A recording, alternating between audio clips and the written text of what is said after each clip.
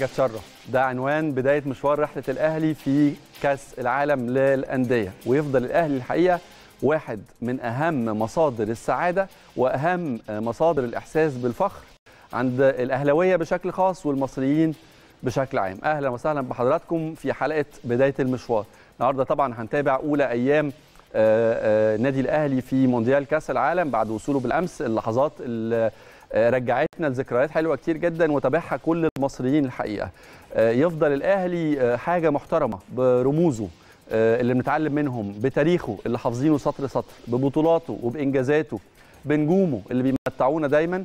لكن تفضل أحلى حاجة مرتبطة بالنادي الأهلي هي جمهوره العظيم. جمهوره الحقيقة اللي استقبل فرقتنا امبارح ونجومنا أحسن استقبال في كأس العالم للانديه الحقيقة يمكن بداية مشوار هنتابعه يوم بعد يوم مع حضراتكم ننقل لحضراتكم الصورة بشكل كامل نطمن على فرقتنا وعلى كل الخطوات اللي بياخدها مستر موسيماني مع نجوم النادي الأهلي عشان يستعدوا للانطلاقة اللي إن شاء الله بإذن الله تكون موفقة أمام دحيل القطري مساء الخير على حضراتكم واهلا وسهلا بيكم في السادسة. ومساء الخير يا ساره مساء الخير عليك يا أحمد ومساء الخير على حضراتكم. وحلقة جديدة من السادسة وزي ما أحمد قال إحنا مع حضراتكم لحظة بلحظة أخبار طبعا بعثه فريق النادي الأهلي هتكون مع حضراتكم وهنقول لكم كل الأخبار لأننا الحقيقة بنعيش وبنوثق لحظات تاريخية لأن إحنا في كأس العالم للأندية في المونديال بطولة الكبار. النادي الأهلي ممثل القارة الإفريقية وممثل طبعا الكرة المصرية في بطولة كأس العالم للأندية. بطولة ما بيبقاش فيها غير الكبار زي ما قلت كل أبطال القارات موجودين. وطبعا يعني ظهور مشرف و... وإن إحنا نكون في بطولة زي دي حاجة كبيرة قوي وحاجة كل أهلاوي كان بيتمناها من من مشوار دوري أبطال أفريقيا طبعا. وشايفين قد إيه الحقيقة الدعم اللي واصل من جماهير النادي الأهلي لفرقتنا سواء دعم جماهير الأهلي في مصر اللي محتلين ال social media وتويتر بسبعة هاشتاج امبارح معاك يا أهلي ويلا يا أهلي وابطالنا في المونديال وواصل قد إيه للعيبة والجهاز الفني هناك. حضراتكم قد إيه في ظهر الفريق طبعا. وكمان جمهور الأهلي اللي استقبل البعثة وشفنا صور ومشاهد ولا أروع تدي اللعيبة دفعة مهمة جدا في بداية مشوار. بنتمنى إن إحنا إن شاء الله نشوف النادي الأهلي هو بينجح نجاح كبير في كأس العالم للأندية. طبعا. خليني أقول لك إنه كل البطولات الرياضية أو كل بطولات كرة القدم الكبرى زي ما بيقولوا كده طبعا. مشهد. الواحد جسمه أشعر. يعني الحقيقة استقبال أكتر من رائع. وخدوا بال حضراتكم المصريين في دول الخليج عموما موجودين بقوة. وجماهير النادي الأهلي حاضرة بقوة. وده واحد من أهم أحمد أنا آسفة المقاطعة. في ناس كانت بتقول لك إن النادي الأهلي ملوش جماهير في الخليج. فتقريبا الصورة آه يعني أفضل رد على استقبال بيبو الحقيقة بيبو الأسطورة. يعني في كل مشهد بيكون حاضر فيه بيكون الحقيقة محل استقبال حافل من جمهور النادي الأهلي هتفوا له كتير جدا امبارح. ويمكن حتى كابتن الخطيب بعد ما حي الجمهور طلب منهم إنه الجمهور يحيي اللعيبة ويحيي كان النادي الأهلي زي ما حضراتكم تابعتوا مشهد أكتر من رائع. وأعتقد اللي ممكن يكون أكتر منه روعة إن شاء الله جمهور النادي الأهلي اللي هيكون حاضر في المدرجات. وده واحد في رأيي أو في اعتقادي واحد من أهم الدوافع والحوافز اللي ممكن تشجع اللعيبة على إنها تموت نفسها في الملعب عشان تبسط الناس دي الناس اللي ماشية ورا فرقتها في كل مكان والناس اللي هتكون حاضرة في المدرجات وغيرهم مئات الآلاف اللي موجودين في كل دول الخليج هتكون واقفة وبتساند وبتشجع الأهلي بالإضافة طبعا لعشرات الملايين اللي موجودين في كل مكان في العالم. بمناسبة كأس العالم للأندية لأنه اسمحوا لي ما جاتليش فرصة أتكلم على أبطال مصر في كرة اليد. يعني الحقيقة الناس دي لابد إنها تاخد حقها وعلى الرغم إن هم خرجوا من دور الثمانيه وعلى الرغم إن هم احتلوا المركز السابع وده كان مركز يعني لا يليق بحجم موهبتهم وحجم قدراتهم. كنا نتمنى ليهم أفضل من كده إلا إنه الأكيد إنه الفريق ده حظى باحترام وتقدير الشعب المصري بالكامل. ما قصرتوش عملتوا اللي عليكم وزيادة وشرفتونا رغم الخروج ورفعتوا اسم مصر عالي جدا وأعتقد إنه المصريين ما اتضايقوش ابدا من خروج من بطولة كأس العالم للأندية على إيد الدنمارك بعد مباراة قوية وماراثون الحقيقة شاد بيه العالم كله. كتير من المنتخبات اللي موجودة على أرض مصر هنا احترمت بشكل كبير جدا واحتفلت بشكل كبير جدا من المنتخب المصري حتى بعد خروجه. مشواركم لسه ما انتهاش. أنا بقول إنه ده بداية وأعتقد إن القادم بإذن الله هيكون أفضل. الحقيقة فعلا العالم كله كان بيتكلم على قد إيه المنتخب الوطني كان مقدم مباراة رائعة والحقيقة أنا شايفة إن إحنا كنا نستحق الفوز وأعتقد كتير يتفق معايا في الموضوع ده ولكن كان فعلا خروج مشرف ويعني الرجالة دول شرفونا وإحنا بنتكلم على إن إحنا كنا بنلعب بطل العالم وشفنا الأداء ده وزي ما أحمد قال هي بداية. خلوني أفكر حضراتكم كمان بسؤال حلقتنا اللي إحنا متعودين عليه وهو مين أفضل ثلاث لعيبة من وجهة نظر حضراتكم في مباراة الأهلي وبيراميدز المباراة اللي فاتت وطبعا تقدروا تشاركونا على صفحاتنا صفحات قناة الأهلي على مواقع التواصل الاجتماعي. خليني أقول للناس برضو إنه التصويت ده مهم جدا لأنه ده اللي هنختم بيه شهر يناير. نهاية التصويت هتكون بكرة إن شاء الله لغاية آخر يوم في شهر يناير. بعد كده إن شاء الله نستنى بقى ماتش الأهلي والدحيل القطري هيكون أولى جولات الأهلي في شهر فبراير. لكن بناء على تصويت حضراتكم من يعني في في ماتش الأهلي وبيراميدز يتحدد مين هو نجم النادي الأهلي في شهر يناير. اللي بتصدر الجدول لغاية اللحظة لو الذاكرة ما خدتنيش علولو. كابتن علي معلول بيجي وراه محمود كهربا وبيجي وراهم بدر بنون. بدر بنون صح؟ بدر يبقى بنون. انت صح. بدر تقدم في في آخر تصويت للجمهور. م. بيجي وراهم وليد سليمان وبعد كده محمد مجدي قفشة وبعد كده طاهر محمد طاهر ومحمد شريف وتتوالى الأسماء في القائمة. لكن ده هيحدد بشكل كبير نجم الأهلي في شهر يناير. نبتدي مع حضراتكم حلقة النهارده وأهم أخبارنا والعناوين. بعثة الأهلي سلبي كورونا في المونديال ومسحة جديدة لمرجان خلال 72 ساعة. فيفا يرحب بالأهلي ويعقد اجتماعا فنيا بالبعثة عبر ال video conference. موسيماني يدرس الدحيل بالفيديو وكافين جواجوا يجهز الفريق للتمرين الأول. تجميد الحكم الدولي محمود عاشور أسبوعين بسبب الفيسبوك.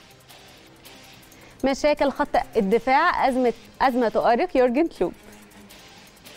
نهائي برازيلي ناري بين بالميراس وسانتوس في نهائي كأس ليبرتادوريس. برحب بحضراتكم مرة تانية ويمكن أنا وأحمد لسه بنتكلم على الشياكة اللي شفناها في بعثة فريق الأهلي امبارح والبدل وال photo session الحقيقة اللي اتعملت أو جلسة التصوير قبل طبعا ما يسافروا علشان كأس العالم للأندية أو المونديال. وفيفا يمكن أشادت بالموضوع ده وقالت قد إيه إنه النادي الأهلي مستعد بقوة وإنه في شياكة كبيرة بالنسبة للاعبي النادي الأهلي. وده يمكن إحنا متعودين عليه بس الجماهير بقى لها فترة يمكن ما شافتش اللعيبة بالبدل دي والحقيقة الحقيقة إنه الاستقبال وشكل البعثة وهي في المطار يفرح. يعني يفرح ان هم قد إيه هم رايحين كل لاعب ماسك موبايله بيوثق اللحظة من وهو طالع الطيارة وهو واصل المطار لإنه فعلا كل لاعب من دول بيعيش لحظات تاريخية. المشاركة في كأس العالم للأندية مش سهلة ومش بتيجي كل يوم ولا كل سنة. وكل لاعب يعني مبسوط إن هو بيعيش الأجواء دي يا أحمد. طبعا. يعني في فرحة كبيرة. خلينا نقول اللي حضراتكم شايفينه على الشاشة ده ده جزء من جلسة التصوير الخاصة بالجرافيكس بتاعه المباريات. حضراتكم عارفين طبعا إنه كل لاعب بيتم تصويره مع بياناته مع اسمه مع رقم الفانيلا بتاعته عشان بتظهر طبعا في ال graphics الخاص بالتشكيل بتظهر في ال graphics الخاص بالتبديلات. فده جزء. لكن ال session دي أو الصورة دي صورة كهربا دي من ال photoshoot بتاعة النادي والزي الرسمي للنادي الأهلي الحقيقة. يمكن في شكله حتى في الصور اللي شفناها في ملعب التتش. لا يقل بأي حال من الأحوال عن أكبر أندية العالم. يعني الحقيقة مظهر مشرف وشكل محترف ومحترم جدا ظهر بيه لاعيبه النادي الأهلي وصورة جماعية للتاريخ. أنا أعتقد إنه البطولة دي فرصة لكل لعيبة النادي الأهلي على عكس ما ناس كتير جدا شايفينها أو زي ما سمعنا يعني ناس بتقول بطولة ترفيهية أو ناس بتقول مش عارف إيه. لكن الحقيقة هي بطولة بالنسبة لنا مهمة جدا مشاركتنا فيها وتقدمنا في أدوارها بالنسبة لجماهير النادي الأهلي وبالنسبة لعيبه النادي الأهلي في غاية الأهمية الموضوع جد الموضوع ما فيهوش هزار.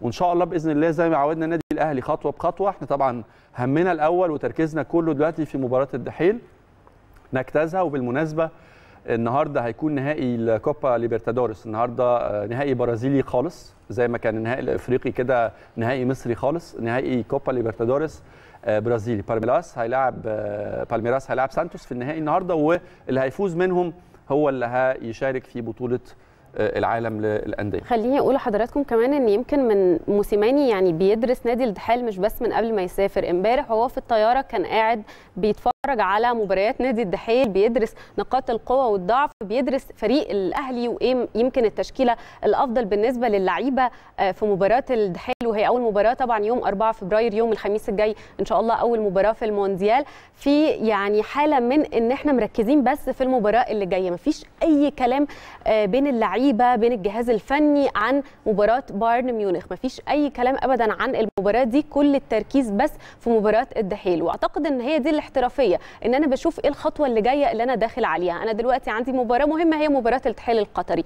أنا بحضر لها وبرتب لها بأفضل طريقة ممكنة وأشوف أفضل تشكيلة ممكن تلعب المباراة دي أفضل خطة بالنسبة لي. مباراة بايرن ميونخ مش وقت ابدا إن أنا أفكر فيها بناخد الأمور طبعا خطوة بخطوة يا أحمد. طبعا نفسنا كلنا يعني الأول نتجاوز عقبة الدحيل وبعد كده يكون لكل مقام مقال. نشوف بقى ماتش البايرن ده هنفكر فيه إزاي. كل ال... أنا قلت لحضراتكم في البطولات ال knockout خروج المغلوب دي بتبقى كل الاحتمالات مفتوحة. وياما شفنا الحقيقة أندية حتى على مستوى مصر هنا. شفنا أندية ما حدش سمع عنها قبل كده بتطلع أندية كبيرة جدا في بطولات الكاس. عشان كده بقول إنه ما حدش يحط ال ال ال يعني المقارنات دلوقتي. خلينا الأول نفكر في الهدف الرئيسي بتاعنا هو ماتش الدحيل وماتشه بالتأكيد مش سهل على الإطلاق. فرقة الدحيل فيها أسماء من العيار التقيل لكن كلنا ثقة في نجومنا.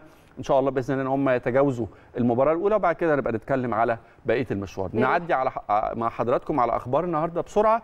والحقيقة يمكن بعثة النادي الأهلي بالمونديال تلقت اختار بيفيد إنه المسحة الطبية اللي تم إجراءها مساء أمس جاءت جامعها الحمد لله طبعا سلبية لكل أفراد الطاقم الفني والإداري والطبي وأيضا اللاعبين باستثناء طبعا العميد محمد مرجان المدير التنفيذي للنادي الأهلي اللي مسحته امبارح جت إيجابية على الرغم إنه كان عمل مسحة طبعا قبل مغادرة القاهرة وكانت مسحة سلبية. على كل الاحوال هو ما فيش الحمد لله يعني حتى اللحظة ما فيش أي أعراض ظهرت عليه حالته مستقرة جدا وأكثر من ممتازة. لكن طبعا في احترام شديد جدا لكل التعليمات الطبية والإجراءات الوقائية وبناء عليه هيتم عزله لمدة 72 ساعة وبعد كده يكون في إعادة المسحة مرة ثانية عشان إن شاء الله بإذن الله نطمن عليه وعلى سلامته. نروح بقى للاتحاد الدولي لكرة القدم فيفا اللي عقد اجتماع. طبعا النهارده علشان يرحب ببعثة الفريق الأول لكرة القدم بالنادي الأهلي ده كان النهارده الظهر عبر الفيديو كونفرنس داخل إحدى القاعات المخصصة للنادي بمقر إقامته الاجتماع ده شهد طبعا ترحيب ببعثة النادي الأهلي وده قبل أيام قليلة من انطلاق منافسات بطولة كأس العالم للأندية وحضر الاجتماع المهندس خالد مرتجي عضو مجلس إدارة النادي ومنسق الأهلي لدى الاتحاد الدولي لكرة كرة القدم أو الفيفا. الكابتن كمان سيد عبد الحفيظ كان موجود والجهاز الفني بقيادة موسيماني ولاعيبة النادي الأهلي وسمير عدلي المدير الإداري والجهاز الطبي والإداري. الاجتماع شهد أن هو يعرف اللعيبة كل التعليمات الفنية الخاصة بالبطولة. يشرح لهم كمان كل التعديلات الخاصة بالتحكيم واللوائح المنظمة للمنافسات. ده غير طبعا أن هم اتكلموا عن كل الأمور الخاصة بالإجراءات الاحترازية والوقائية للتصدي لفيروس كورونا بجانب العديد بقى من الأمور الفنية والتنظيمية واللائحية المتعلقة بمشاركة النادي الأهلي المرتقبة في كأس العالم للأندية. طيب إحنا كمان دقايق خليني أقول لحضراتكم وأنتم بتتابعونا كده كمان دقايق هيبتدي تمرين الأهلي الأول استعدادا لمباراة الدحيل وإن شاء الله هننقله لحضراتكم على الهوا بس خليني أروح الحقيقة لغاية لما نجهز وزمايلنا يجهزوا هناك يعني هنتابع على مدار الحلقة طبعا وهنجيب آخر الأخبار من مقر البعثة ومقر تمرين النادي الأهلي. خليني أقول لحضراتكم كمان إنه الجهاز الفني الفريق الأول بنادي الأهلي بقيادة طبعا مستر موسيماني كان حريص على متابعة عدد كبير من ماتشات الدحيل في الفترة الأخيرة. الدحيل زي ما قلت لحضراتكم السيزون ده ما هوش الأحسن بالنسبة له، يعني هو يمكن بقاله فترة طويلة جدا تقريبا شبه مسيطر وتقريبا بيقدم أداء في منتهى القوة وبيفوز بكل البطولات لكن السنة دي الدحيل غير. وعلى الرغم من كده يمكن استعداده للبطولة دي استعداد خاص جدا طبعا هو دعم صفوفه بشكل كبير زي ما قلت لحضراتكم صفقة من الدوري الياباني لعيب إفريقي على مستوى عالي جاب ثلاث أهداف يمكن في الماتش السداسي الأخير مع الأهلي القطري جاب لاعب إيراني في وسط الملعب برضه بالإضافة طبعا لخط هجومه المميز جدا جدا واللي بيعتبر أقوى خطوطه فمش هنقيس على مستوى الدحيل. لكن الراجل بيذاكر بشكل كبير جدا وعمل جلسات واجتماعات مع ثنائي تحليل اداء بالفريق عشان يقدر يقرأ ويتعرف على مناطق القوة ومناطق الضعف في فرقة الدحيل. وإن شاء الله بإذن الله تكون رؤيته واختياره لطريقة اللعب والتشكيل اللي هيمثل النادي الأهلي. إن شاء الله تأمن لنا الفوز وتجاوز اولى خطواتنا في مشوارنا بالمونديال. طبعا مكملين مع حضراتكم التغطية لبعثة الفريق في المونديال بس بعد الفاصل.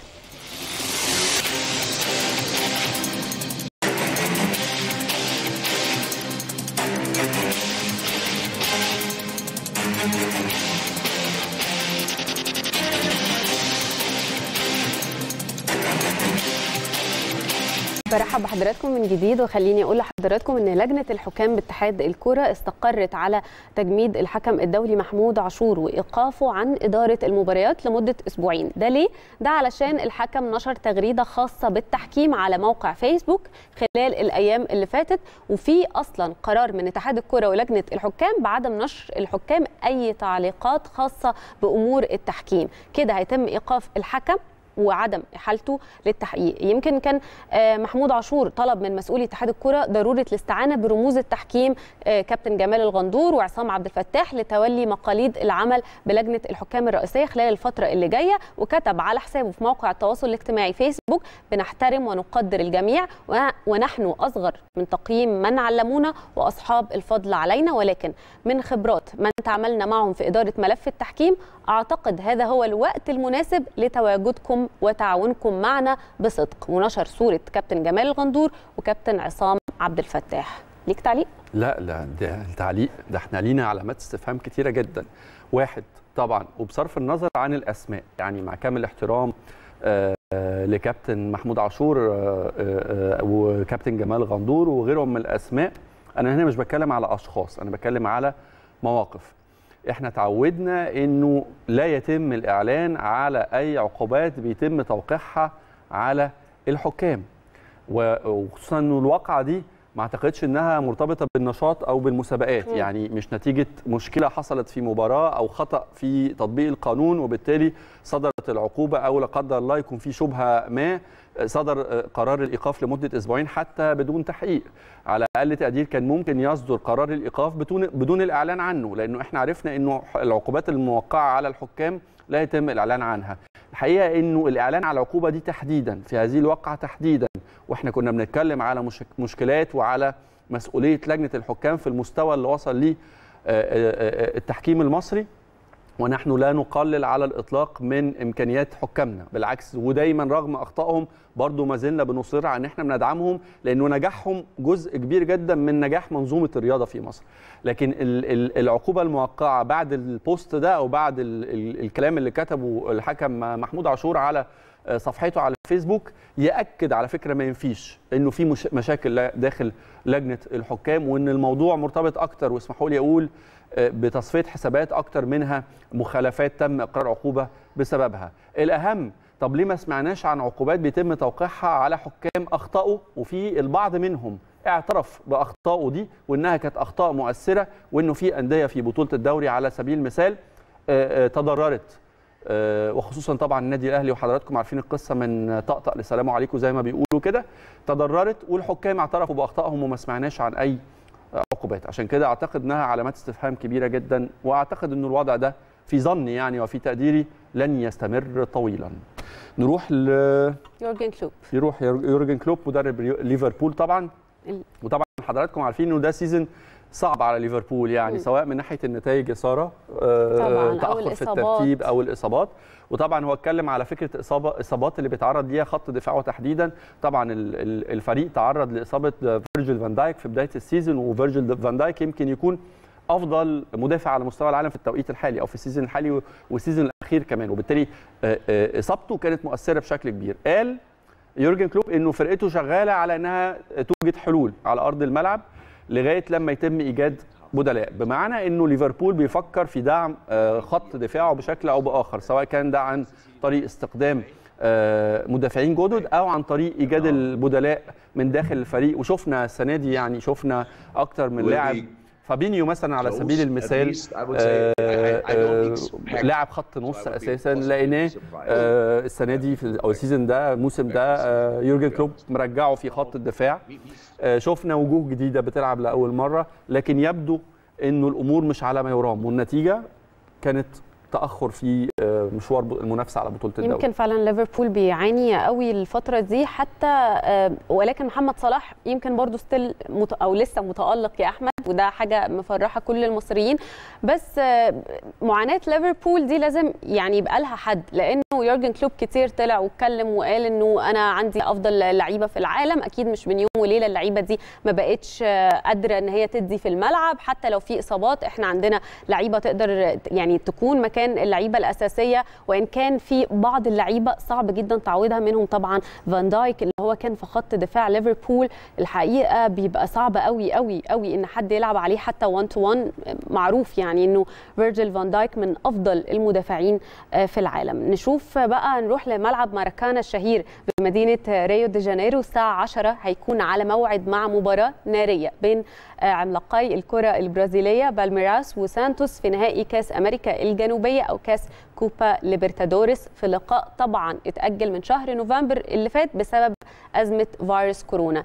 الفايز باللقب ده النهارده هيشارك في نهائيات كأس العالم للأندية وهيلعب يوم 7 فبراير اللي جاي مع الفايز من مباراة أولسن هيونداي الكوري الجنوبي وتيجريس أونال المكسيكي واللي هتقام يوم الخميس اللي جاي في الدور ربع النهائي. بالميراس يمكن حقق لقب كاس ليبرتادوريس مرة واحدة قبل كده عام 99 لكن سانتوس حقق اللقب ثلاث مرات في أعوام 62 و63 و2011 63 و64 و65 على كل الأحوال بالتأكيد طبعا كورة هنتفرج على كورة ممتعة. يعني هي كوبا ليبرتادوريس عموما والكورة في أمريكا الجنوبية. يمكن تكون على مستوى المتعة بعيدا عن التكتيك واللياقة البدنية هي أكثر كرة ممتعة في العالم. والنهاردة لما نتكلم على نهائي برازيلي في نهائي أكبر بطولة في أمريكا الجنوبية أعتقد هتكون مباراة كرة ممتعة. إمتى نقابل الفايز من بالميراس وسانتوس؟ في حالة إن شاء الله بإذن الله إذا ما تخطينا عقبة الدحيل. وبعد كده بايرن ميونخ ممكن ساعتها يبقى المنافس المحتمل يكون في الدور النهائي لبطولة كأس العالم للأندية طبعا. ونتمنى إن شاء الله إنه الأهلي يحقق الحلم ده. آه والنهاردة كمان أعتقد في ماتش مهم آه يعني 10 هيبقى بالميراس وسانتوس. الساعة 7 ونص تقريبا هيكون أرسنال ومانشستر. يونايتد. في واحدة توقعات. من مباريات مانشستر فايق جدا جدا صح؟ جدا السنة دي وبيقدم عروض قوية جدا والفريق أكثر تماسكا على الرغم مش في مانشستر اللي إحنا المرعب اللي إحنا عارفينه لكن واضح إن الفريق بقى متماسك جدا وعنده الرغبة والنتائج اللي بيحققها المكسب دايما زي ما بنقول بيجيب مكسب النتائج اللي بتحققها بيدي دافع للعيبة إنها تحافظ على المجهود اللي بذلوه سولشاير عنده ثقة قوي في اللعيبة. وقدر إن هو يعمل توليفة حلوة الصراحة يا أحمد فرقت معاهم جدا المباريات اللي فاتت وخصوصا في مباراة ليفربول. بس لسه مش كرة مانشستر يونايتد يعني أنا عارفة أنت بتتكلم على أنهي مانشستر يونايتد بس اللي أنت بتتكلم عليه ده كان يعني قديم. يعني الفيفريق مانشستر يونايتد اللي انت بتقوله ساعتها العمالقة. بس اهو يعني الراجل بيحاول. يعني بقى له كتير ده ناس كتيرة جدا مورينيو حاول و... و... و... و... ناس كتيرة جدا حاولت الحقيقة. يمكن أول مرة نحس إنه مانشستر على الأقل عنده القدرة على المنافسة. هنسيب حضراتكم بقى مع تقرير إحنا الحقيقة يمكن في الفترة الأخيرة اتكلمنا كتير جدا على مشاكل الفار وهي كانت مشاكل حقيقية وحسينا بيها وملايين من جماهير النادي الأهلي. يعني إن كنت كل مباراة الأهلي بيتعرض فيها لظلم تحكيمي بيجي لي مكالمات ومسجات والناس لما تقابلني في الشارع بتقول مش معقولة ومش راضيين ومظلومين وإحساس ظلم وقهر كبير جدا. إحنا رحنا بقى للناس عشان تعبر بما ان المدرجات مش مفتوحة. طب إحنا كاميرا السادسة كانت موجودة مع جزء من جماهير النادي الأهلي ونزلنا نسألهم إيه رأيكم في الفار؟ هل أضاف؟ هل قلل من حدوث المشكلات أو الإشكاليات اللي بتحصل في المباريات ولا لأ؟ تعالوا نسمع إجابتهم مع حضراتكم ونرجع لكم مرة ثانية في السادسة.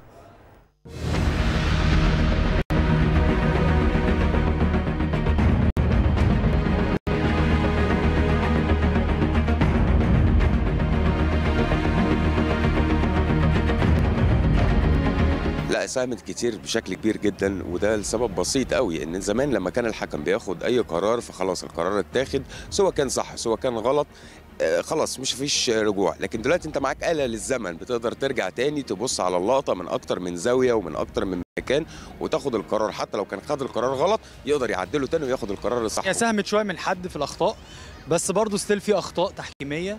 لأن بحس إن الناس اللي قاعدة على الفار برضو مش قادرة تحكم بوضوح. بس فأنا رأيي لو ما فيش ال technology المطلوبة إن إن إن هي يعني يعني التكنولوجي دي لو ما اتنفذتش صح رأيي تتلغي ملهاش لازمة. لا ده ليه الفار ضرنا ضرنا ضرنا ضرنا ملوش أي لازمة يعني كان قلته أحسن. يعني كان لازمته إيه لما يكون موجود والأخطاء موجودة وهم قاعدين بيتفرجوا علينا؟ يعني بيتفرجوا على الماتش يعني هم جايين يتفرجوا؟ يعني كانوا جايين بيتفرجوا على الفار عشان يتفرجوا على الماتش؟ ولا عشان يشوفوا الخطأ فين؟ كان ليها وعليها بس هي يعني إحنا كأهلي ضرينا من الفار على الأقل في ثلاث ماتشات لحد دلوقتي في الموسم ده. فهي أكيد محتاجة مراجعة ومحتاجة آه، آه، الناس القائمين على لجنة اللي بتدير شؤون الكرة دلوقتي إنها تقيم القصة تاني وتشوف تدريب أكتر لحكام الفار نفسهم.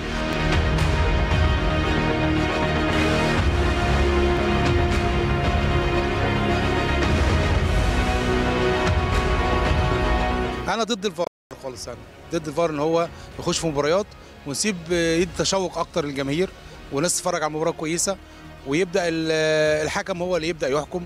آه في اخطاء هتحصل وبتاع بس ده احسن وافضل أنا شايف من وجود الفار فيها أساسا. لا والله إحنا استعنا بالفار ده علشان يتجاوز الاخطاء التحكيمية. هو آه في في عندنا وفي بره كمان في آه بس بطريقة فجة لا صعبة شوية. مش يجوا يقولوا لا في أعطال في الكاميرات في أعطال من في الجهاز. لا خلاص يقولوا لنا من الأول إن في أعطال يبقى بلاش منه خالص. والله هو الفار مهم جدا جدا. بس هي المشكلة إن ممكن يكون فيه كاميرات ناقصة في الملاعب.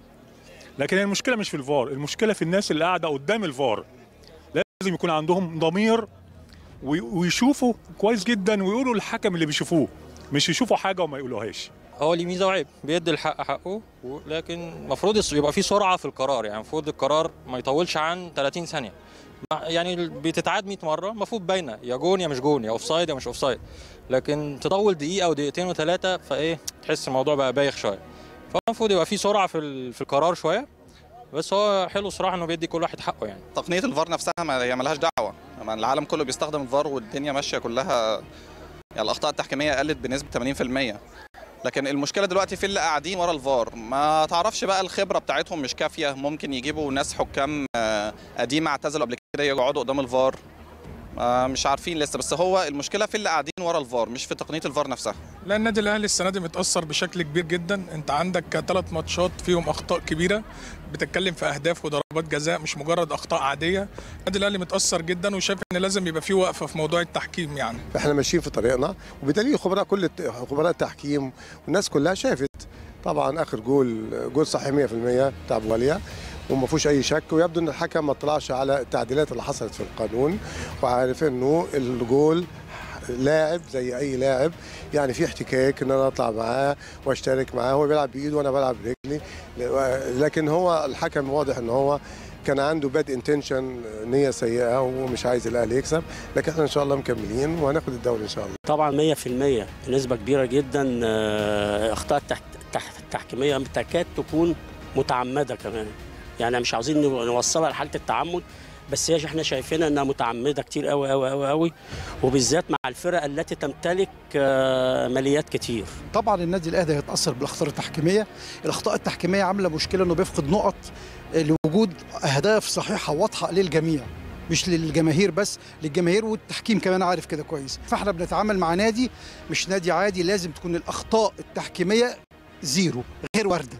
وده أعتقد ده رأيي إن لازم نرجع ون- وندقق جامد جدا في المطوشة الحساسة للأندية الكبيرة أندية القمة وعلى رأسها النادي الأهلي نادي بطل أفريقيا وبيلعب في عالميا دلوقتي وإن شاء الله ربنا يكرمه في المطوشة اللي جاية أهلا بحضراتكم من جديد والحقيقة إنه الاهتمام ببطولة كأس العالم للأندية اهتمام عالمي وكبير جدا آه، من العالم كله. مش بس عشان هي بطولة كبيرة وعلشان إحنا كمصريين بنتابعها علشان آه، النادي الأهلي أو غيره ولكن لأن دي من أوائل البطولات اللي بينظمها الاتحاد الدولي لكرة القدم أو الفيفا من بعد أزمة كورونا وبالإجراءات الاحترازية الجديدة اللي المفروض تكون موجودة طبعا في البطولات الكبيرة وفي أي بطولة بعد أزمة فيروس كورونا. ربنا يبعدها عننا ونخلص منها بقى على خير.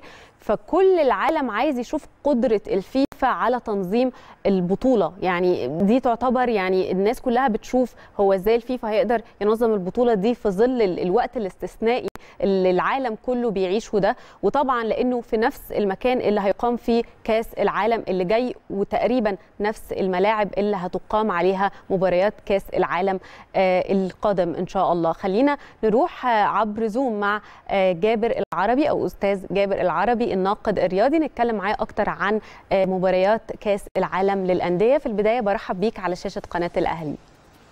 أهلا وسهلا بحضرتك أستاذة سارة وبكل المشاهدين بالتأكيد. أهلا بيك. وخليني أسألك الأول على تعليقك على الاستقبال اللي حضرتك شفته لبعثة فريق النادي الأهلي أول ما وصلت للمشاركة في مونديال الأندية.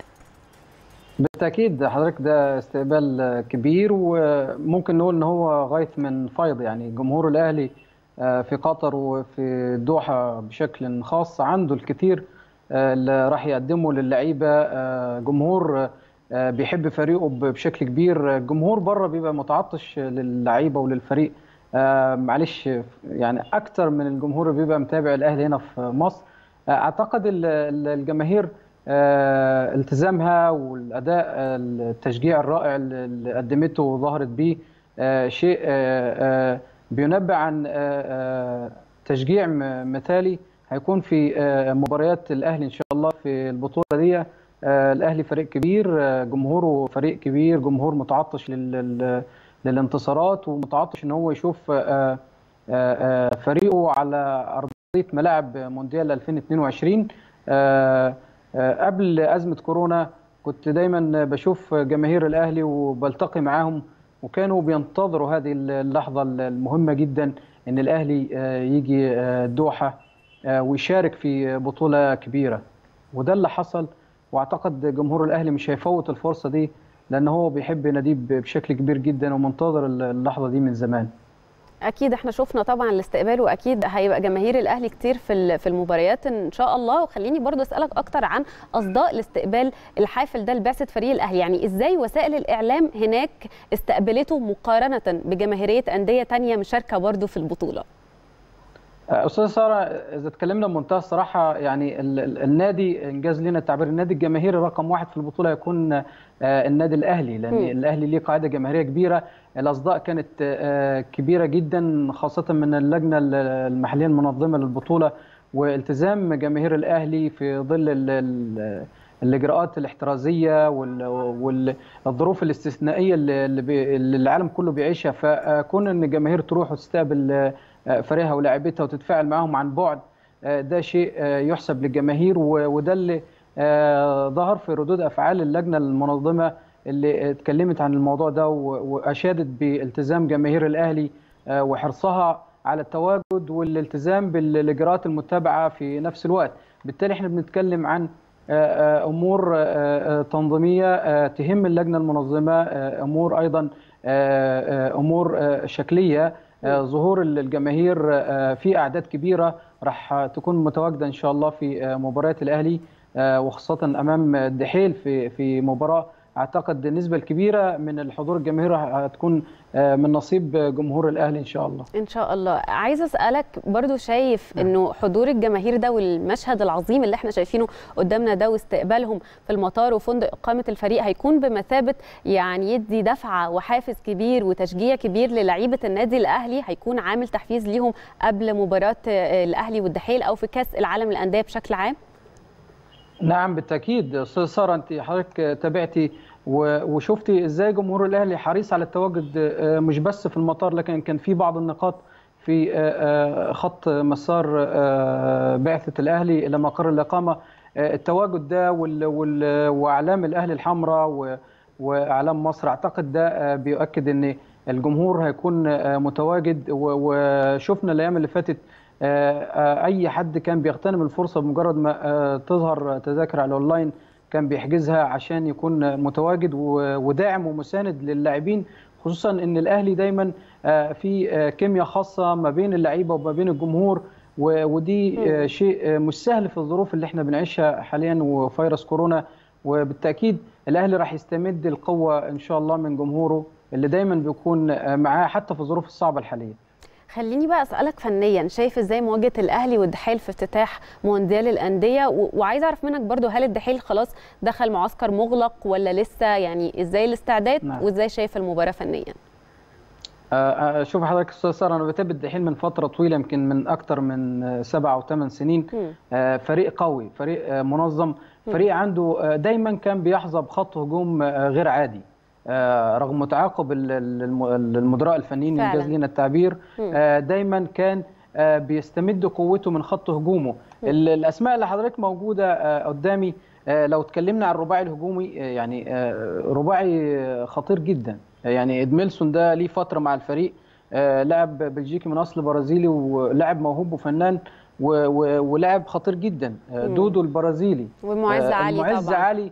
ده لاعب أعتقد اللي يرجع بالذاكرة سنة أو سنة وشوية فاتت في كأس أمم آسيا في الإمارات العربية المتحدة إزاي اللاعب ده قدر يبقى هداف البطولة مم. ولاعب أنا أعرفه عن قرب لاعب مجهوده وافر مم. ودايما بينزل تحت كتير آه، لما بيكون في آه، نقص في الإمداد من النواحي الفنية خاصة في نص الملعب دايما آه، بيقول لي أنا لا اراديا بنزل عشان أساند مع زمايلي. فلاعب زي ده مجهود وافر لاعب خطير أيضا. اللاعب اللي جابوه مخصوص لبطولة أولينجا المهاجم الكيني آه، آه، هداف كاشيا رسول الياباني الدحيل عنده خط هجوم قوي. لكن أنا لاحظت الفترة اللي فاتت الناس بتتكلم إن في نقاط ضعف في خط الوسط وخط الدفاع آه. لفريق الدحيل. دي صحيح. لكن فريق الدحيل عنده أسماء مهمة. مم. منهم اللاعب آه، أحمد ياسر آه، محمدي. ده لاعب آه، صغير وشاب في خط الدفاع ولاعب آه، قوي. آه، آه، بسام الراوي ده آه، لاعب ارتكاز ومحوري آه، في الخطوط ال- الوسط والخطوط الخلفية. ده لاعب مهم جدا.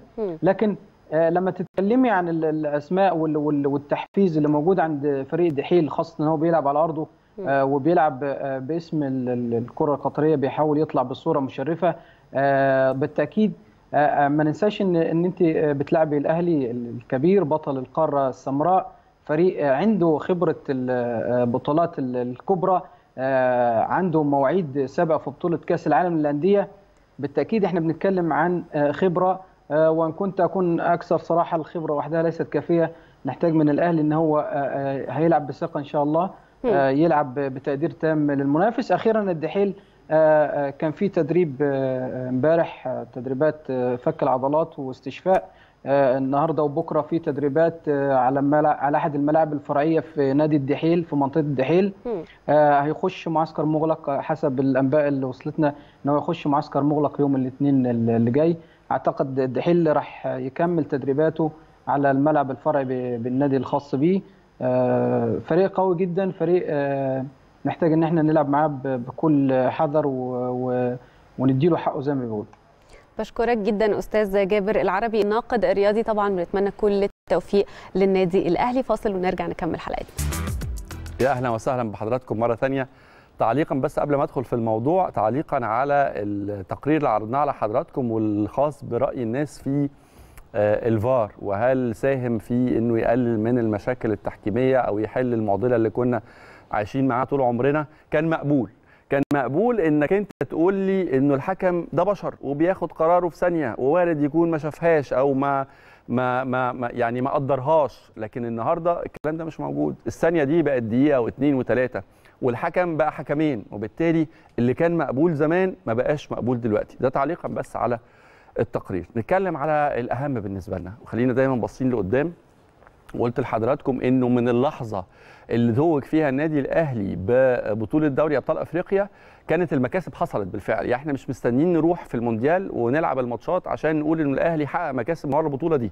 المكاسب مش بس رياضة المكاسب مش بس بطولات لكن في مكاسب تانية فنية. أنت عندك جيل كامل ما لعبش كاس عالم أندية قبل كده وبالتالي جيل بياخد خبرة وبيبقى جاهز لبطولات جاية بعد كده وبيتقل في الملعب. عندك مكاسب آه، تجارية مكاسب اقتصادية وإن شاء الله بإذن الله ما يمنعش برضو إن يكون في مكاسب رياضية. هنتكلم عن مشوار النادي الأهلي وعلى الانطلاقة مع الدحيل القطري مع الأستاذ عمر بنوبي الناقد الرياضي ضيفنا في آه، السادسة والحقيقة يمكن إحنا جبنا له لقطات هو نفسه ما كانش يعرف عنها حاجة. عمر مساء الخير واهلا بيك معانا. مساء النور يا أحمد. ويعني أنا سعيد جدا ومبسوط وبشكركم على ال- الاستقبال الجميل ده. أهلا بيك وشكرا ليك على وقتك. آه، خليني أدخل في الموضوع. خلينا ابتدي من لحظة الوصول امبارح اللي بتهيألي كلنا تابعناها. مشهد وحشنا. يعني إحنا مفتقدين. أنت عارف إن المصريين تقريبا ما بيتابعوش آه، كأس عالم للأندية إلا لما الأهلي يكون موجود. يعني بطولة يمكن المصريين بيحبوا الكورة وبيتفرجوا على بطولات كتيرة جدا مش بتشارك فيها أندية مصرية. لكن كأس العالم للأندية تحديدا بيتح... ما حدش بيحس بيه. يعني بيجي ويعدي ويخلص و... وما بنعرفش مين كسب أو نسمع ممكن عن خبر مين الفرقه اللي كسبت بطولة بس ما حدش بيتابع. إلا لما الأهلي يكون موجود الايفنت ده أو ال- الحدث ده آه، بيتغير آه، بشكل كبير جدا. تابعت استقبال النادي الأهلي امبارح إزاي؟ آه، يعني أعتقد إنه الاستقبال للنادي الأهلي هو استقبال آه وحشنا لكن هو استقبال طبيعي. جمهور النادي الأهلي موجود في كل مكان في الدنيا مش بس في المنطقة العربية ولا في مصر ولا في منطقة الشرق الأوسط لكن حتى لما الأهلي راح لعب كأس العالم في اليابان كان جمهور الأهلي موجود. صحيح. لما الأهلي لعب كأس العالم في المغرب جمهور الأهلي موجود. لما هيروح يلعب كأس العالم في النسخة دي جمهور الأهلي موجود. لو في أي مكان في الدنيا هيكون موجود لكن الحقيقة مشهد الاستقبال إنه آه، الجالية المصرية كلها تبقى موجودة جمهور المحب للنادي الأهلي شفنا كمان تبادل التحية بين الجمهور اللي حضر الاستقبال الفريق والكابتن محمود الخطيب رئيس النادي. ودايما أنا بحب أتكلم يعني آه عن اللقطة دي تحديدا إنه آه، تفرق كتير قوي لما يكون رئيس النادي بتاعك هو أسطورة من أساطير الكورة على مستوى أفريقيا وعلى مستوى العالم وأسطورة لناديك. بالتالي الاستقبال بيكون بالشكل ده في أي مكان في الدنيا يعني أعتقد إنه دايما كابتن خطيب بيشاور يقول لهم الفريق كله اهتفوا أيوة. للفريق أكتر ما تهتفوا لبيبو أيوة. يعني ده المشهد المعتاد يمكن أنا شفته ده كتير الجماهير اللي واقفة دي ما شافتش الخطيب في الملعب بالظبط. أجزم بكده يعني ال ال ال ال الشباب اللي واقف ده وبيشجع بيبو ده وبيعبر عن حبه وعشقه لكابتن محمود الخطيب آه، ما شافش محمود الخطيب في الملعب لكن الحقيقة يظل الخطيب آه، أسطورة للأهلاوية. آه، هو قصة وحالة عشق آه، يمكن اترجمت في المشهد اللي إحنا شفناه امبارح في استقبال الفريق لل يمكن ده ده بيحصل كتير وبيتكرر في مناسبات كتير لكن إنه يحصل في كأس العالم للأندية أيوه. وتحت رئاسة الكابتن محمود الخطيب للنادي الأهلي هو الحدث الجديد شوية. دلوقتي بقى لنا سبع سنين النادي الأهلي ما كانش أخد بطولة أفريقيا. وبعد الصبر ده لما تيجي البطولة تيجي على حساب نادي الزمالك نادي كبير نادي محترم منافس آه، يعني تاريخي للنادي الأهلي هنا في مصر يمكن على مستوى أفريقيا إن البطولة تبقى دوري أبطال أفريقيا دي حاجة مختلفة شوية كان إحساسها مختلف بالنسبة لجمهور النادي الأهلي. أعتقد كمان إنه المشهد كمان اللي إحنا شايفينه ده مشهد يليق بالنادي الأهلي يليق بنجوم النادي الأهلي شايفين ال- الشكل فعلا النادي الأهلي في مكانه الطبيعي وسط أندية أكبر أندية العالم. آه، شكل اللعيبه التزامهم انضباطهم حتى في السفر حتى في البعثة نفسها وهي مسافرة في حاجات كتير صغيرة تفاصيل دقيقة ممكن آه. شوية آه، بعض الناس تاخدش بالها منها لكن الحاجات دي بتفرق كتير جدا جدا مع شكل النادي الأهلي لما بيكون موجود في محفل دولي زي كأس العالم للأندية. أنت عارف انه الخليج فيه مصريين كتير. طبعا. وأنا بيتهيألي المشهد ده كمان امبارح واحد من الحاجات اللي هتحفز اللعيبة بشكل كبير جدا زيادة على الحوافز اللي موجودة. يعني أي لعيب طبعا بيحلم يشارك في بطولة كأس عالم أندية. لعيبة رايحة بتحقق حلم بتشارك مع أبطال عالم. آه، في كتير من الجيل ده أول مرة بيلعب كأس عالم أندية. آه، تجربة جديدة بالنسبة له. أكيد تجربة جديدة ليها ليها سحر خاص. لكن كمان إنه يكون في جمهور وراك وبالتالي حتى بالنسبة للجهاز الفني أنا عارف ان مستر موسيماني واحد من دوافع اتخاذ قراره إنه يجي الأهلي كان آه، معرفته بحجم وقدر جمهور الأهلي. لكن بالتالي لما يسافر بره كمان في ظروف العالم كله بيعيشها ويشوف الاستقبال ده في المطار أنا بيتهيألي برضو ده يعني بيخلق حافز جديد. يعني ده أكيد كلام سليم آه، بمناسبة آه، مستر موسيماني. عاوز أقول لحضرتك إنه يمكن أنا كانت علاقتي ممتدة وقوية وكويسة بكل المدربين الاجانب اللي دربوا النادي الأهلي. آه، مفيش مدرب مهما كان ال CV بتاعه قوي من أول مارتن يول مانويل جوزيه لما جه 2001 وبيسيرو كارتيرون آه، أي مدرب جه درب النادي الأهلي من الأجانب آه، انبهر لما شاف جمهور النادي الأهلي على الطبيعة لما شاف جمهور النادي الأهلي في الاستاد. الموضوع ده, كان موضوع مختلف تماما. ممكن يسمع إن آه النادي الأهلي عنده جمهور كبير جدا والنادي الأهلي الأكثر شعبية في أفريقيا وفي الشرق الأوسط. لكن لما بيشوف ده على الطبيعة لا الوضع مختلف. موسيماني آه، المشهد اللي الكل الجمهور يفتكره له هو مدرب لماميلودي سان داونز وهو بيصور جمهور النادي الأهلي في الملعب. وهو احتفظ بالمشهد ده علشان كان حلمه إنه يدرب. النادي الأهلي وتحقق الحلم ده لكن إنك تروح كأس العالم للأندية وتشوف جمهور النادي الأهلي لأول مرة تقريبا موجود معاك بقى في المدرجات حتى لو بسعه 30% بسبب الظروف الوبائية في الوقت الحالي لكن أعتقد إنه فعلا تجربة هتكون مختلفة لبعض اللعيبة اللي لسه أول مرة تخوض التجربة دي أيوة. وكمان لموسيماني والجهاز الفني هتكلم معاك على الماتش بتاع الأهلي والدحيل بس خليني الأول قبل ما أتكلم كورة أتكلم على المكاسب يعني لو ممكن تقول لنا كده آه، حجم مكاسب النادي الأهلي اللي بيحققها. في مكاسب اتحققت بالفعل خلاص. مش ما احناش منتظرين البطولة تخلص عشان نعرف إيه هي المكاسب دي. لكن في على المستوى الفني على المستوى التجاري والاقتصادي وعلى المستوى الرياضي بالتأكيد أهداف للنادي الأهلي آه، مهم إن هو يحققها. ممكن تكلمنا عنها أو تدينا فكرة أكتر عنها؟ بالتأكيد. أعتقد إنه آه، المكاسب للنادي الأهلي تمتد بعيدا عن الجزء الفني. لجزء آه، تسويقي وجزء تجاري وجزء إعلامي كبير جدا. يعني لو قلنا إنه آه، الجوائز المتوقعة لو على لائحة السنة اللي فاتت أو النسخة اللي فاتت من كأس العالم للأندية مجرد المشاركة أعتقد بتوصل 39 مليون جنيه تقريبا. آه، كل ما تتقدم كمان تتخطى دور آه، تقرب من المنافسة أكتر آه، بتاخد مبلغ أكبر. أعتقد إنه ده جزء مهم محتاج يتشرح بشكل مبسط بس إنه دلوقتي آه، من أربع أيام كان في مؤتمر اقتصادي في أوروبا وأندريا أنيلي آه، رئيس نادي يوفنتوس ورئيس اتحاد الأندية الأوروبية اتكلم عن خسائر الأندية الأوروبية في السنتين 2020 و بسبب 2021 بسبب فيروس كورونا وغياب الجمهور. علشان بس نعرف إنه إزاي الأهلي بي survive في وقت آه، في أندية كبيرة في العالم بتعاني وبت- وبتقول إنها بتعاني. إحنا لسه كنا عاملين إمبارح فيديو graph كده عن آه، أزمات أو آخر الأسبوع لا اخر حلقة في الأسبوع اللي فات عن أزمات برشلونة. وإنه بيعاني بشكل كبير جدا بسبب الديون اللي موجودة عليه سواء آه، آه، دفع مرتبات لاعبين سواء ديون موجودة للبنوك والتفكير على إنه بيفكر يتخلى عن نجم الفريق آه، ميسي عشان طبعا من ناحية يقلص حجم ال- ال- النفقات بتاعته ومن ناحية تانية يكون في مردود مادي يسا- يساعد نادي كمان برشلونة. يعني واحد من أكبر أندية العالم بيعاني ماديا بشكل كبير. يمكن هو علشان نقطة برشلونة والسياسة المالية لبرشلونة سيئة جدا من سنين طويلة مش من النهارده مش بسبب فيروس كورونا لكن كمل عليها فيروس كورونا وأزمة ميسي والأزمات الإدارية. لكن النادي الأهلي لو قلنا إن أندريا أنيلي بيقول إن خسائر الأندية الكبيرة توصل من 6.5 مليار ل 8.5 مليار في السنتين دول علشان غياب الجمهور وظروف فيروس كورونا النادي الأهلي في ظل الجائحة بيحقق دوري أبطال أفريقيا بيدخل مكاسب مالية. عقد رعاية النادي الأهلي هو الأكبر في تاريخه حتى الآن بيشارك في كأس العالم للأندية وبيطمح للأفضل. ال- الكورة مش بس فكرة إنه أنا هاخد بطولة هي فكرة إنه أنا أقدر أكمل بعد كده. أيوة. لأنه النجاح مش بيتبني ببطولة بالصدفة ولا إن أنا تحصل عندي طفرة في وقت ولما آه، ابتدي ارجع شوية في في المراكز أو يحصل drop أو يحصل drop فني ان أنا يحصل عندي مشكله. لا انت لما يكون عندك سياسه مستقره سياسه ماليه واضحه زي النادي الاهلي ما بيعمل زي ما النادي الأهلي عنده دايما أفكار out of the box بيحاول يستفيد من كل موارده ويوجد موارد جديدة علشان يقدر يكمل من الموارد دي كأس العالم للأندية. إن أنت صحيح. تشارك إن أنت تاخد بطولة أفريقيا فتاخد الجائزة المالية بتاعتها. إنك تتواجد وسط أكبر أندية العالم ده بيعلي من البراند بتاعك وبيعلي من حتى طلباتك بعد كده لما تيجي تعمل عقد رعاية جديد.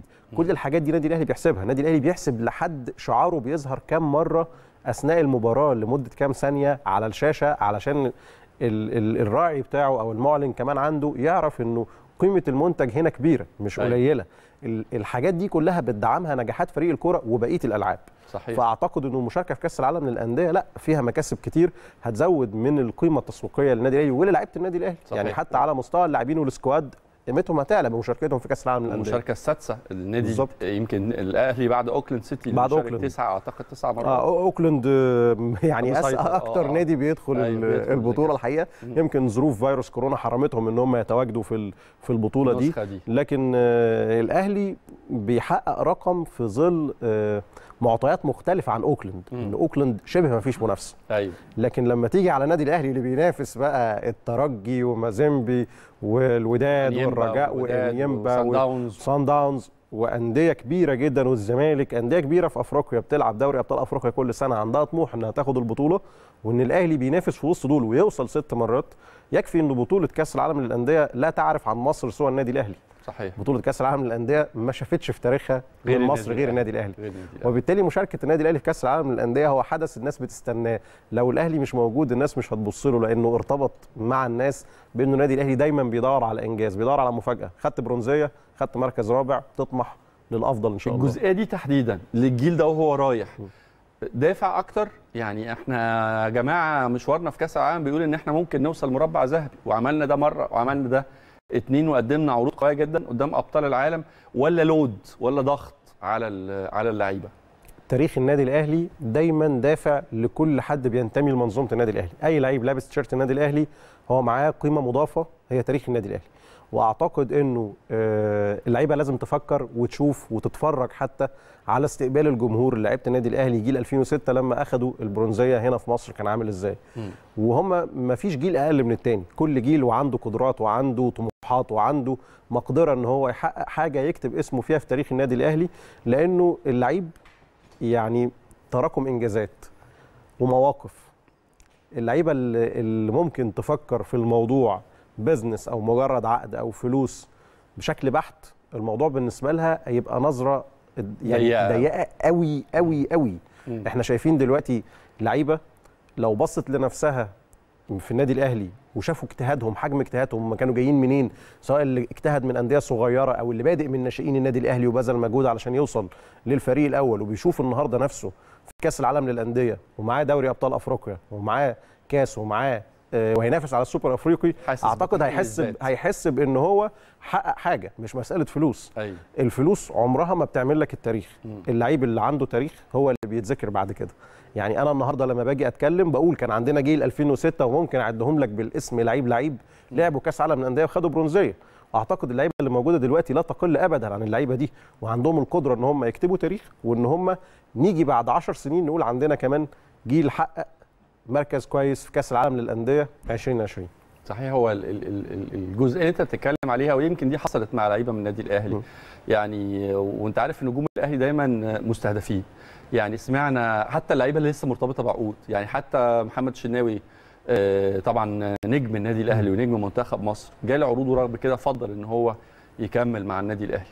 أنا أعتقد إن محمد الشناوي يستحق التحية على تفكيره وعلى عقليته وانتمائه للنادي الأهلي. هو آه، قائد النادي الأهلي في الوقت الحالي لعيب آه، مهم في مركزه كمركز حراسة المرمى عمل كارير دولي أعتقد ما فيش أكتر من إنك تلعب كأس عالم مع منتخب مصر.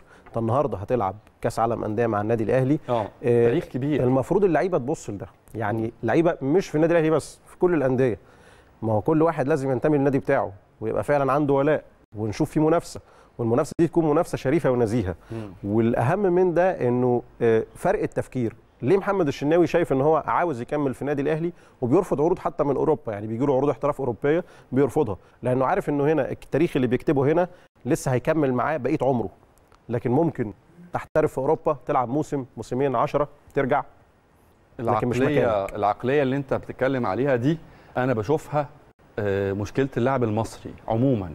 يعني عندنا مواهب الحقيقة تستاهل تكون في أحسن حتة في العالم بس أسلوب الحياة طريقة التفكير. آه، تحديد أهدافك آه، طريقة سعيك لتحقيق الأهداف دي هي دي اللي ناقصة عندنا. ده بنشوفه بمثل مثل واضح جدا زي محمد صلاح. العقلية ساهمت بشكل كبير جدا في إنه يطور من نفسه على الرغم إنه يمكن صلاح إمكانياته في الكورة مش الأعظم في تاريخ الكره المصرية. يعني ممكن أقول لك 10 أسماء كان عندهم كورة أحسن محمد صلاح لكن ما حققوش ربع ال- ال- اللي قدمه محمد صلاح. نتمنى إنه يعني صلاح يبقى قدوة ومثل وغيره والنني وغيرهم طبعا من نجومنا المصريين. هروح للدحيل معاك شوية. ماتش البداية.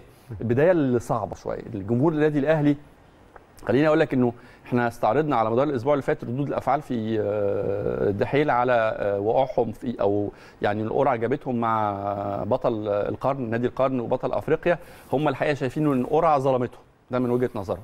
إحنا طبعا الأهلاوية ما رحموش دخلوا على على اليوتيوب وعلى جوجل وشافوا الفرقة وعرفوا مين نجومها وإحنا استعرضنا الحقيقة يمكن فردنا مساحات للدحيل ومش قادرين نوصل آه، يعني عندنا كفتين. كفة بتقول لك الفريق صاحب الأرض والضيافة. فريق فيه أسماء آه، من العيار التقيل وقاعده تانية بتقول لك إنه قوة المنافس محليا مش قاعدة ومش ضرورة عشان يكون بنفس القوة على المستوى الإقليمي أو الدولي. أنت بتميل لأي وجهة نظر في الاثنين أنا بميل لل 90 دقيقة. آه بتميل ل 90 دقيقة. لل 90 دقيقة للملعب. ليه؟ لأنه لو هنقول مثلا آه، من التاريخ برضو النسخة اللي فاتت ترجي كان بطل أفريقيا لاعب السد كان هو ممثل الدولة المستضيفة أيوه. والسد على مستوى آسيا قوي جدا بيحقق نتائج كبيرة اتغلب ستة من. الترجي. مش بقول إن الأهلي رايح يكسب الدحيل ستة. أيوه. علشان برضو الجمهور لما يسمع يبقى عارف انه هي الفكرة كلها في ال 90 دقيقة مم. في الملعب. مجهودك تركيزك إن المدرب يكون موفق في خطته في تشكيله في تغييراته طول ال 90 دقيقة لأنه برضو الدحيل غير السد. مم. دحيل معاه مدرب صبري لاموشي مدرب كويس. الدحيل عنده بعض العناصر اللي عندها خبرات والعناصر القوية على من المحترفين في عندهم دودو من بالميراس جايب مبلغ كبير جدا إعارة بس 7 مليون يورو مبلغ ضخم جدا. أيوة. آه، بس دي سياسة بالميراس. يعني بالميراس برضو ممكن يصعد وممكن يكون موجود في البطولة بالمناسبة النهارده. آه، بالميراس هو بيفكر commercial أكتر في اللعيبة بتاعته فعمل ده. لكن دودو لعيب كبير جدا ومميز. برضو لو اتكلمنا عن آه، بغداد بونجاح لو اتكلمنا عن آه، كان قبل كده منزوكيتش ومشي. منزوكيتش لو كان موجود كان ممكن أقول لك كمان إنه يمثل قيمة مضافة لأن طبعا. منزوكيتش كمان لعب كأس عالم راح الميلان يعني ولعب مش كأس عالم أندية مش بالمناسبة بالظبط ده مشي راح يعني الميلان. هو لعب كأس عالم أندية كمان طبعا. يعني نسخه 2013 وشارك مع بايرن ميونخ. بالظبط فبالتالي ال- الفريق مش بنفس القوة اللي كان عليها مثلا السنة اللي فاتت وفي نفس الوقت مش دايما ممثل الدولة ال- المستضيفة بيعمل المفاجأة. ممكن آه حصلت مع العين الإماراتي. في النسخة اللي قبل اللي فاتت تقريبا. أيوة، وصل نهائي. وصل للنهائي قدام ريال مدريد واتغلب أربعة. آه لكن أنا شايف إنه لأ هو أنا بميل ل 90 دقيقة. التركيز الأكبر عند مين؟ اللعب بدون ضغوط وإن أنت ما تفكرش في ماتش بايرن ميونخ. ما فيش حد يفكر في بايرن ماتش بايرن ميونخ. بشوف بعض ال... ممكن مثلا على ال social media بتاع الناس تيجي تهزر في ناس شوية. بتفكر في بالميراس.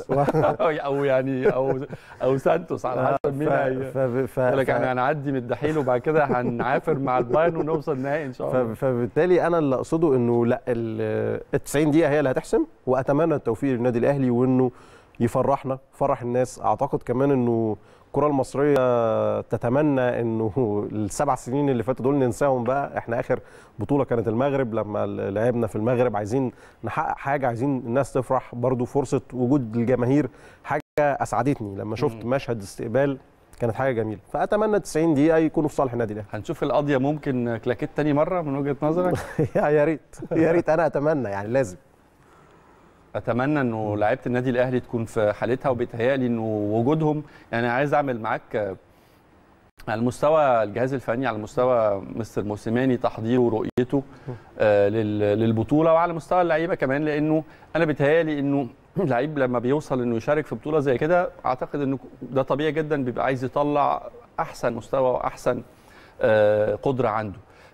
شايف إنه الكرة اللي قدمها الاهلي في الفترة الأخيرة أو اللي كانت بمثابة مشوار دوري عام وأيضا استعداد لكأس العالم للأندية مطمناك؟ ولا الأهلي رايح بكذا دايلاما كده محتاج مستر موسيماني يفكها ويحضر لها قبل ما يبتدي ماتش الدحيل؟ أنا شايف إنه العكس فعلا. أنا شايف إنه آه، ممكن بس في بعض الناس أو الميديا ما بتبقاش فاهمة فلسفة المدرب في اللي كان بيعمله في الخمس ست ماتشات اللي فاتت كان إيه؟ يعني مثلا في ناس كتير اتكلمت عن معضلة محمد شريف والتر بواليا أيوه الموسيماني مدرب بيذاكر كويس قوي وبيحضر كويس قوي ومعاه الجهاز معاون من أول سامي قمصان وباقي المجموعة. كيفن جونسون كيفن جونسون و- ورانجوجا. ورانجوجا أنا شايف إن هم مجموعة متكاملة. النقطة الأهم من ده إيه مثلا معضلة شريف ووالتر بواليا هو موسيماني شايف إنه شريف في ال top form بتاعته. بواليا لسه جاي فهو بيحاول يديله علشان يوصل لل top form قبل ما يسافر معاه كأس العالم للأندية. شريف already في ال top form هي أيوة. الفكرة كلها بقى إنه المدرب كمان بيقدر ي handle ده إزاي مع اللعيبة جوه أوضة اللبس. أيوة. إنه اللعيب يبقى متفهم الكلام ده. لكن ممكن تظهر للناس الجمهور إنه آه، لأ ده ليه والتر بواليا بيلعب وليه شريف ما بيلعبش وشريف جاهز و... وشريف وطاهر وشريف ك... الموضوع مش كده خالص. الموضوع إنه أنا مش ببص لمباراة واحدة. أنا آه كمدرب بيبقى يهمني أنا عايز أكسب المباراة اللي جاية. أيوة. لكن في نفس الوقت أنا عندي بقية الموسم. أنا عندي الدور الثاني بفكر هعمل فيه إيه؟ وبشوف اللعيبة اللي أنا جايبها. وبشوف مين الاحتياطي بتاعي. وبشوف أنا أقدر أريح مين بعد كده. والتدوير اللي هعمله هيبقى شكله إزاي. فموسيماني حاول طول الفترة اللي فاتت إن هو يجهز كل اللعيبة اللي معاه إنها توصل لل top form علشان يبقى حتى لما يحصل حاجة زي إصابة كابتن وليد سليمان. بتمنى له الشفاء واتمنى له. يرجع في أسرع وقت. يبقى عنده البديل جاهز. كبيرة خسارة كبيرة طبعا. هو لعيب لعب كأس عالم حد. جاهز يلعب دور وليد في في, آه طبعا. في البطولة؟ الفريق جماعيا يقدر يلعب الدور ده. أنا لا، شايف بس إنه بس وليد خد بالك وليد خبرة. وليد عنده ال- الحتة بتاع كأس العالم دي. وليد عنده قدرة على القيادة. وليد عنده القدرة إنه يسيب بصمة حتى لو كان مساحة مشاركته مش كبيرة قوي. مين في الأهلي من وجهة نظرك ممكن يكون آه، أنا شايف إنه؟ وليد سليمان يمكن موسيماني قالها عنه هو لعيب كلاسيكي. واللعيب الكلاسيكي ده ما بقاش موجود كتير دلوقتي في مصر. واللعيب اللي موجود دلوقتي بقى اللعيب الشاب اللي بيعتمد على السرعة والقوة والمهارة. فيعني وليد عنده كل ده وعنده حتة الخبرة اللي حضرتك قلت عليها. أعتقد إنه في في الملعب لأ أنا ما أقدرش أحدد اسم بعينه إن هو يعوض وليد سليمان. أيوة. لأنه كمان وليد في في الفترة اللي هو موجود فيها دلوقتي هو له مهام محددة بيعملها. مش زي وليد من خمس سنين. مم. فأعتقد إنه هيبقى البديل بتاعه آه، بديل شاب وهيكون الموضوع موضوع لعب جماعي. وأعتقد ان الأهلي قادر على إنه يحقق آه، يعني نتيجة إيجابية بالتشكيل اللي موجود دلوقتي. طيب تقول لي كده لو مذاكر الدحيل كويس. إيه مواطن القوة اللي علينا إن إحنا نبقى مجهزين نفسنا ليها؟ اللي لابد إن إحنا نعمل لها ألف حساب. وإيه مواطن الضعف أو الثغرات اللي شايفها فرقة الدحيل وإنه علينا إن إحنا نستغلها أفضل استغلال؟ أنا شايف ان الدحيل عنده إدواردو اللي هو دودو وعنده علي كريمي اللي جابه الإيراني. أيوه. وأعتقد إنه وإدميلسون أعتقد برضه من اللعيبة. ادميلسون يعني هو الجانب الهجومي بتاع الدحيل قوي. قوي. لكن وسط الملعب هو اللي هيحسم المعركة كلها. مم. وبرضه بالمناسبة من مشاركات سابقة للنادي الأهلي وسط الملعب هو اللي ممكن يحسم لك كل شيء. لأنه قبل كده في مباراة مثلا آه، مع باتشوكا المكسيكي في 2008 في بطولة 2008 بتتقدم اتنين وتخسر بعد كده. ليه؟ لأنه أنت أصلا ما كنتش مسيطر على نص الملعب لكن بمهارات فردية كان في في في ال- الجزء الأمامي كان أبو تريكة وفلافيو وقدرت إن أنت آه، يعني تسجل هدفين لكن بعد كده المباراة فلتت منك. فأعتقد إنه أنا شايف إنه الدحيل عنده الجزء الهجومي خصوصا الأطراف أقوياء جدا. لكن وسط الملعب عمق وسط الملعب الموضوع هيبقى فيه صراع ومنافسة كبيرة حسب التشكيل كمان اللي هيبدأ بيه موسيماني في وسط الملعب مين؟ العناصر اللي هو هيبدأ بيها. هل هيبدأ بديانج آه، سولية؟ هل هي هيدي حمدي فتحي هيكمل بعد لأنه بدأ ال- الماتشات اللي فاتت؟ آه، دي هتفرق. هيلعب بثلاثه ولا هيلعب باثنين برضه لأن هو أيوة. برضه قرر إنه لعب بثلاثه دي في أكتر من مباراة من المباريات اللي هي تقيلة فنيا شوية. كان بيلعب ثلاثة في وسط الملعب. آه، أعتقد إن ده هيفرق كتير. التشكيل بالنسبة لك محسوم ولا في آه، مراكز معينة مش واضحة بشكل نهائي؟ لا أعتقد إن التشكيل محسوم. هو ممكن بس يبقى فيه تغيير لعيب في وسط الملعب آه، ما بين بقى سوليا وديانج وما بين آه، حمدي فتحي. آه، أعتقد كمان إنه آه، الخط الأمامي بس برضو كهربا ولا ولا هيبدأ حد تاني؟ طب ما تقول لي التشكيل كده اللي أنت يعني متوقعه أو تتمناه يمثل الاهلي في في ماتش الدحيل أنا الحقيقة يعني أنا أتمنى بس إنه في وسط الملعب تتحسم حتة اثنين أو ثلاثة يعني ده الأهم. تمام. يعني نلعب 4 2 3 1 بالظبط. ولا 4 4 3 3 ولا 4 3 3 ولا هتلعب ب- أنت أفضل بالنسبة لك إيه؟ أنا شايف إنه لا أنا أبدأ باثنين ويكون اللعيبة اللي موجودة ممكن عندها التوازن الدفاعي مع الهجومي لأنه أنا ممكن أحط لعيب يكون عنده النزعة الهجومية عالية قوي مثلا زي كهربا ويكون مثلا في الجانب الدفاعي مش هيديني 100% زي ما أنا محتاج في المباراة دي طيب. أو محتاج لمراقبة لعيب معين. تشكيلك على 4 2 3 1 على 4 2 3 1 أنا شايف إنه طبعا هو طبيعي ال- الشناوي معاك. أعتقد دلوقتي علي معلول اساسي ما أعتقدش إنه يعني آه، محمود وحيد هيكون بديل استراتيجي كويس. آه، معانا ياسر إبراهيم أنا أتمنى إن هو يكون موجود. أدى بشكل كويس. أيمن أشرف أساسي. ما بقاش فيه كلام يعني في أيمن أيوة. أشرف بأدائه ال- ال- الفترة اللي فاتت. بدر؟ آه، أعتقد إنه بدر مش هيقعد. لا بدر مش هيقعد. لكن في النهاية بقى موضوع الدفاع ده أعتقد إن موسيماني هيغير فيه. لكن مش بمعنى بدر إيه؟ يعني لكن مش بدر أعتقد إنه ممكن يكون عنده آه، فكر تاني في في حتة ياسر إبراهيم. ما أعرفش هيفكر فيها إزاي بس ده إحساسي يعني لأن هو برده مش ثابت عليها الفترة يعني اللي فاتت. يعني يلعب بياسر وبدر و... وأيمن أشرف؟ ممكن يلعب بياسر وبدر وأيمن أشرف آه. وممكن آه، يغير ياسر. ممكن يغير ياسر. آه. واليمين ناحية اليمين. آه، أنا أعتقد إنه ال- الخيارات ناحية اليمين مش مش كتير قوي دلوقتي. ف لا مش مش قادر أحددها قوي لأن هقول لك حاجة. مم. أنا شايف إن موسيماني الفترة اللي فاتت غير في التشكيل أكتر من مرة. أيوه. بالظبط. بالذات في حتة نص الملعب الماتشات وفي وفي الماتشات وفي التمرين. وفي التمرين تمام. آه. ف يعني في لعيبة في التمرين كانت بتلعب في مراكز آه، غير مراكزها بالظبط. في نقطة تانية إنه آه، أنا الحقيقة ما بحبش أحط أسامي اللعيبة قوي عشان في لعيبة بتزعل. آه. أو مش إنه لعيبة بتزعل في لعيب بيبقى بيظن إن هو مجتهد أكتر. 80 مليون قاعدين بيحطوا. التشكيل ال 80 مليون بيحطوا التشكيل بس. يعني أنا أنا شايف إنه كل اللعيبة شبه جاهزة. آه. كل اللعيبة شبه بس جاهزة. خد بالك أنت أنت عندك 11 وعندك اللي بره كمان أوراق رابحة. يعني كلهم جاهزين. يعني في ميزة في الأهلي السنة دي إحنا حاسينها. مش زي السنة اللي فاتت. السنة اللي فاتت كنا أوقات كتيرة جدا مش ما بنبقاش لاقيين 11 يعني يعني في عندك لا عشان الإصابات كمان. إصابات عشان الإصابات. و- يعني هي الإصابات و- كانت أكتر شوية. ولاعيبه خرجت من القايمة و... يعني. وتغييرات في القايمة فعلا. آه، آه. لكن ال...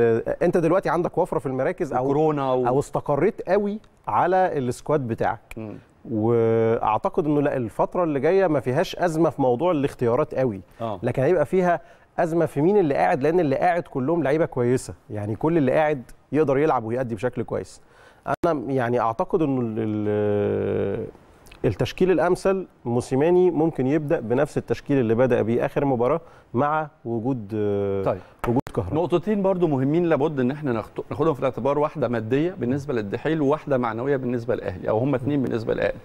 الدحيل على حسب إحصائيات الاتحاد الدولي هو أكثر الأندية الآسيوية انفاقا في الصفقات على الصفقات والتدعيمات في 2020 دي ناحيه الناحية الثانية الأهلي بيدخل البطولة دي وهو طبعا بطل إفريقيا ونادي القرن الإفريقي لكن واخد كمان أكتر آه، آه، تاني أكتر أندية العالم حصولا على الألقاب القارية ودي جايزة يعني واخدها من قريب.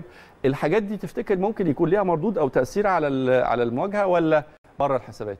لا بره الحسابات. أعتقد إنه آه، لما تلعب كاس عالم أندية وهي مباراة آه، نوك اوت الموضوع مش آه، خروج المه- آه المغلوب بالظبط مش هيبقى في آه، مش هيبقى في حتة حسابات المالية أو الكلام ده.